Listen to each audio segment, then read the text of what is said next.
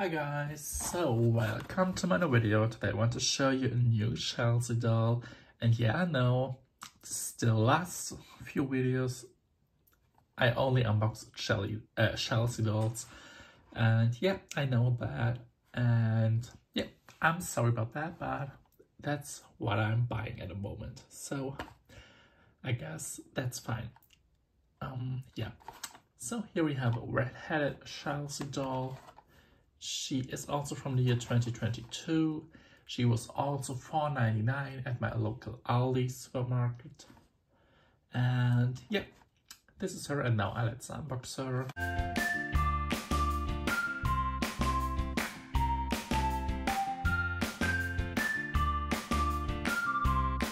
So here we have her and yeah, she is definitely cute and a keeper, I guess.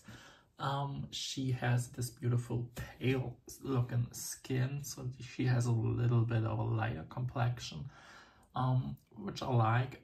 Um, she has this gorgeous face, beautiful brown eyes, decent lipstick. Then she has this curly, curly, creaky, curly, like, bun. Yeah, this is cute.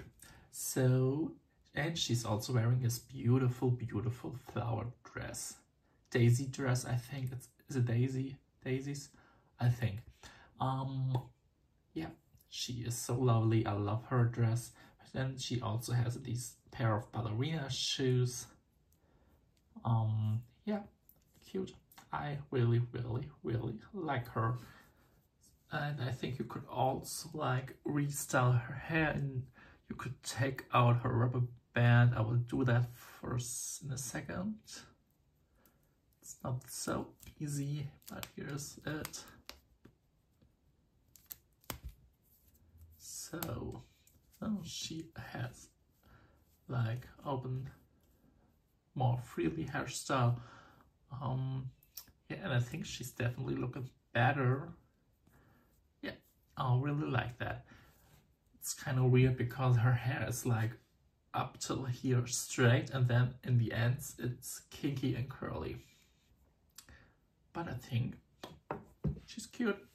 Yeah, I really like her. So, I hope you liked this video. Please leave me a comment or subscribe to our channel and I see you in my next video. Bye!